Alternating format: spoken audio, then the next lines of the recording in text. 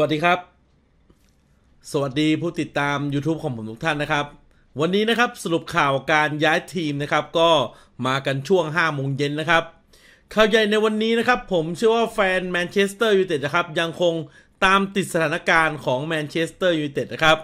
ซึ่งในช่วงตอนเย็นนี้นะครับ เมื่อไม่ถึง 1 ชั่วโมงที่ผ่านมา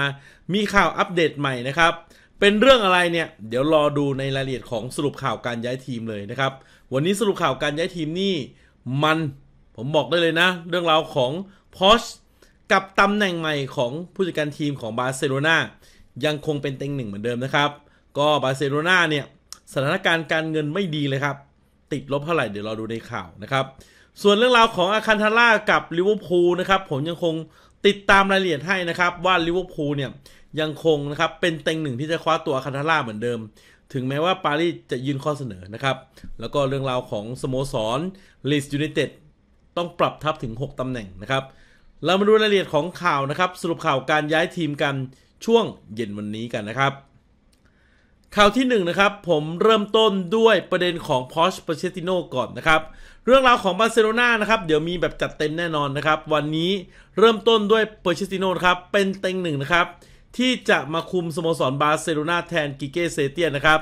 หลังจากจบฤดูกาลนี้นะครับบาร์เซโลนาไม่สามารถคว้าแชมป์ลาลิก้าลีกได้นะครับกิเกเซเตียนเนี่ยดูเหมือนว่านะครับทราบอนาคตของเขาแล้ว กลายเป็นพอช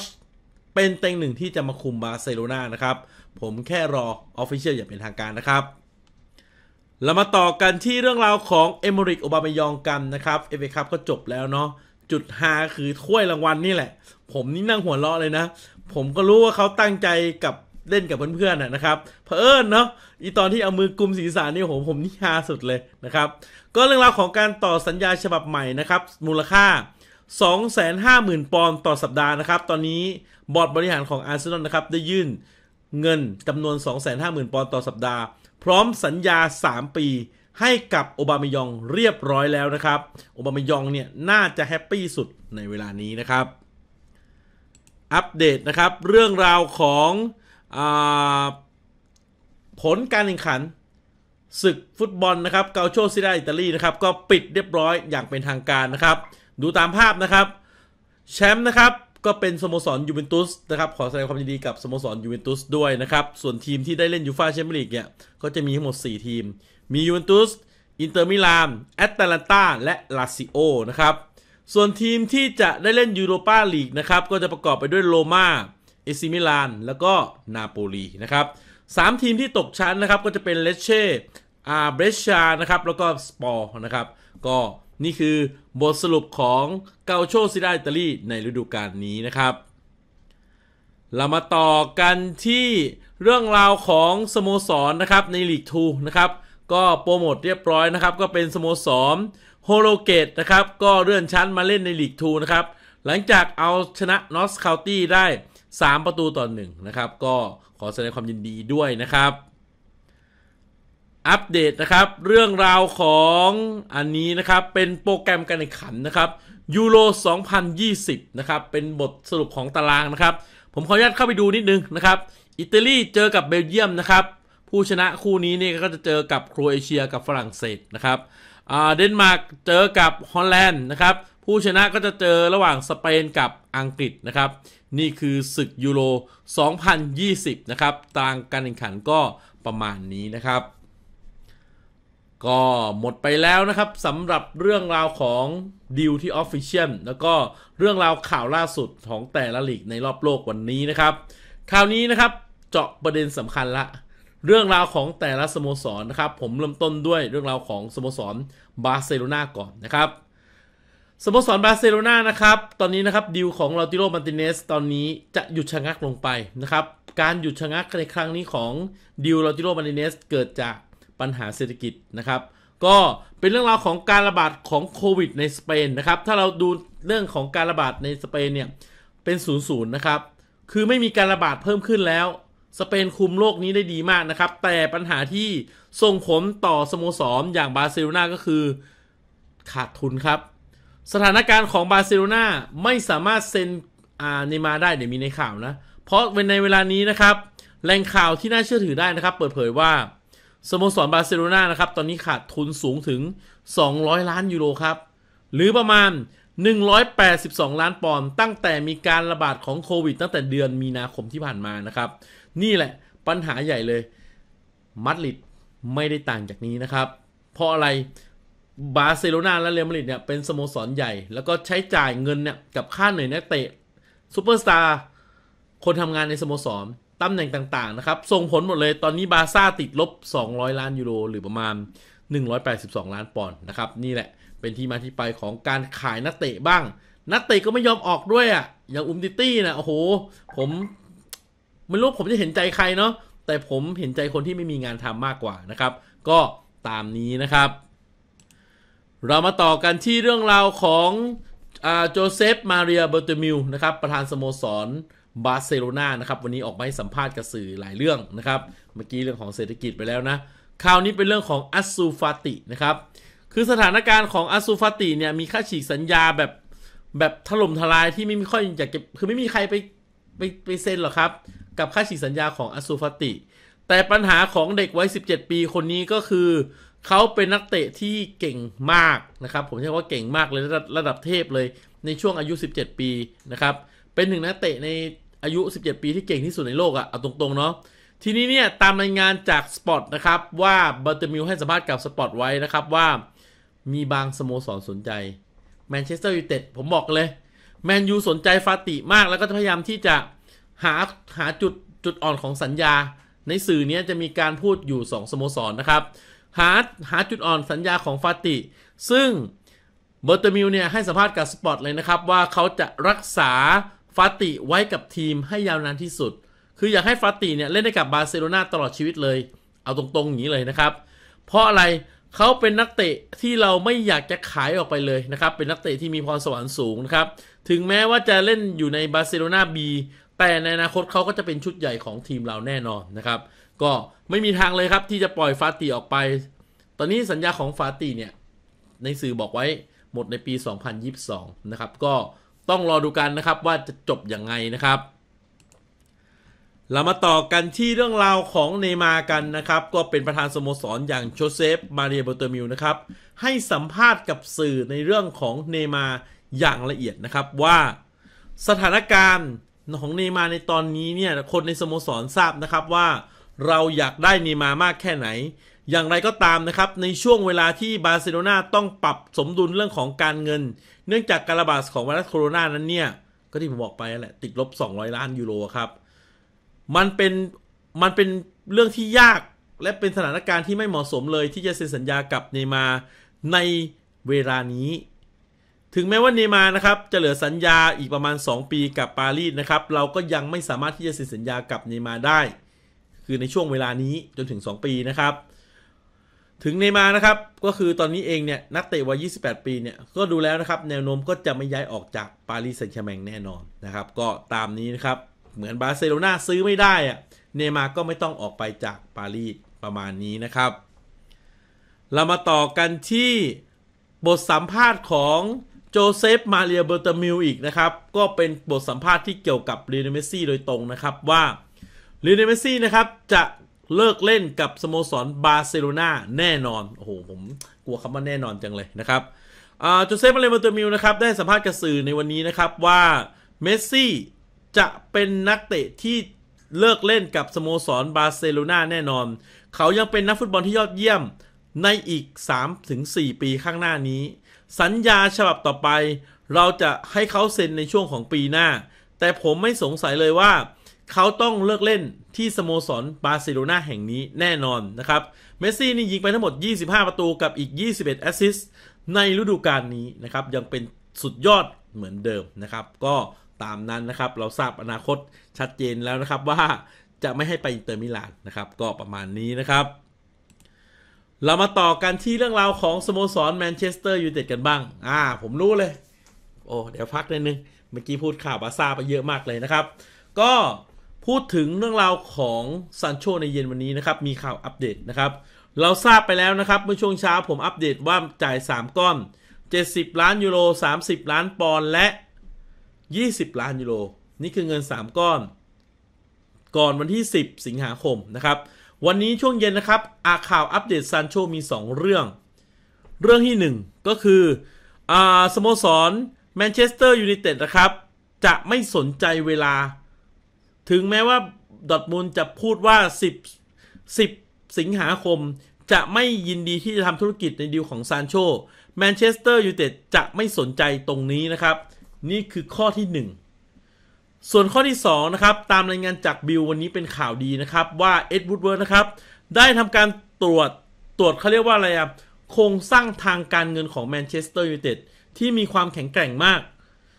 ผลปรากฏว่าครับข่าวดีมากๆเลยนะครับ ว่าสโมสรแมนเชสเตอร์ยูไนเต็ดต้องจ่ายเงินของซานโชทั้งหมดนะครับ108 ล้านปอนด์การผ่อนชำระมี 3 งวดตามที่ผมนำเสนอข่าวไป ทีนี้เงินก็แลกราคาเท่าไหร่ เออนะครับ เงินก็แรกนะครับที่จะจ่ายหลังจากที่มีการตรวจสอบโครงสร้างทางการเงินของแมนยูแล้วนะครับ ก็คือ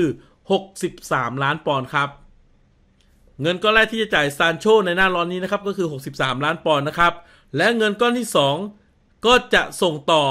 ในช่วงของปีใหม่นะครับในปี 2021 อีกจำนวน 27 ล้านปอนด์ครับ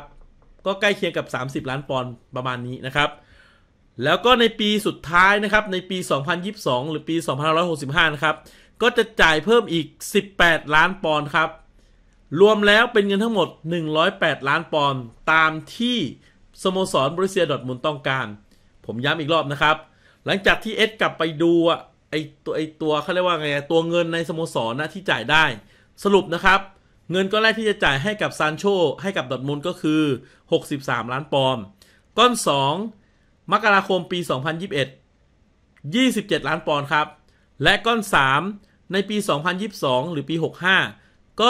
ประมาณ 18 ล้านปอนด์เป็นเงินทั้งหมด 108 ล้านปอนด์นี่คือข่าวอัปเดตล่าสุดนะครับ และแมนเชสเตอร์ยูไนเต็ดไม่สนใจว่าดอร์ทมุนด์จะกำหนดวันที่ 10 สิงหา เพราะตลาดนักเตะปิดถึงวันที่ 5 ตุลาคม ชัดเจนตามนี้นะครับ นี่คือข่าวอัปเดตใหม่ของซานโชนะครับ หลังจากที่เอ็ดไปตรวจสอบสถานะทางการเงินเรียบร้อยนะครับ